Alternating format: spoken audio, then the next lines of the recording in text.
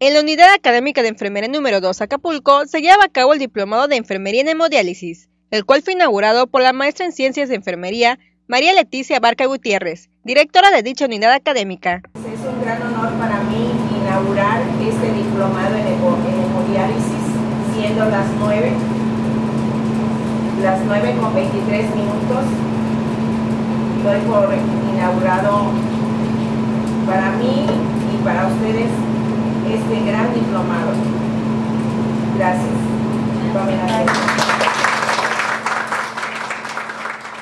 Este diplomado está enfocado a licenciados de enfermería o técnicos que estén ejerciendo su profesión en hemodiálisis.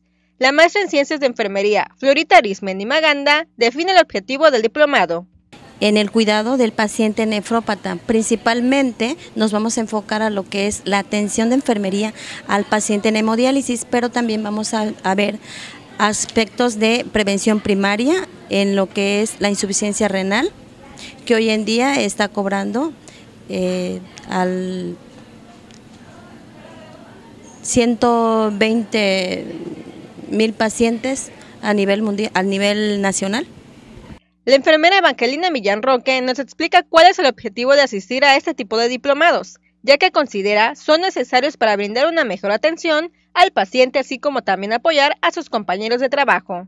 Impartir los pocos conocimientos que yo tengo a cada uno de mis compañeros y aprender de cada uno de ellos y así poder lograr o subir más arriba y, y de aquí y este implementar allá en mi trabajo a mis demás compañeras.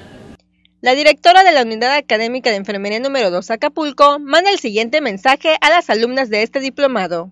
Es muy importante el promover y hacer un reconocimiento a los estudiantes que tienen interés en tomar este diplomado.